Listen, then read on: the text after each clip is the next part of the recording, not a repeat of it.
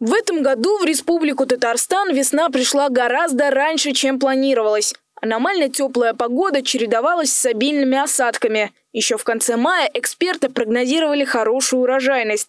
Норма осадков была выполнена – Однако с наступлением лета ситуация изменилась. Июнь оказался совсем не обеспечен осадками.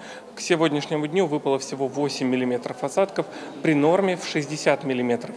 Притом 8 миллиметров – это э, в Казани. Говоря о восточных районах республики, стоит отметить, что там э, в некоторых районах не выпало ни одного миллиметра осадков, что является таким ограничивающим э, фактором. Эксперты подчеркивают, конечно, в Татарстане очень плодородная почва – но на урожайность главным образом влияют тепло- и влагообеспеченность мая и июня. Даже если в июле и августе норма по осадкам будет перевыполнена, ситуацию это никак не спасет. Что касается заморозков, они для середины июня не характерны точно так же, как и засуха. Последние заморозки специалисты зафиксировали 15 июня. Пока что, э, наверное, это вот не прям так критично, потому что есть еще время и часть э, урожая все-таки восполнится. Э, но, тем не менее, если погода э, продолжит быть такой же временами э, холодной и временами довольно-таки сухой, то мы можем получить снижение урожая.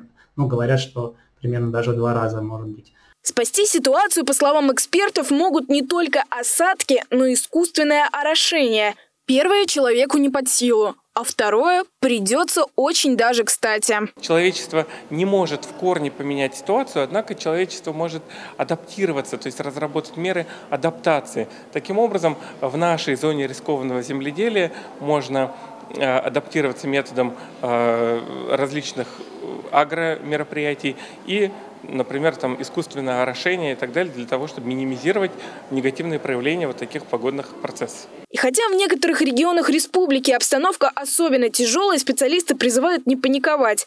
Пшеницы хватит, по крайней мере, для жителей Татарстана. Немножко непонятно, будет ли хватать, возможно, на экспорт, э, но, э, по крайней мере, э, нам, татарстанцам, точно хватит достаточное количество Э, урожая будет э, и, скорее всего, подорожание цен на хлеб пекарный и на другие культуры не будет.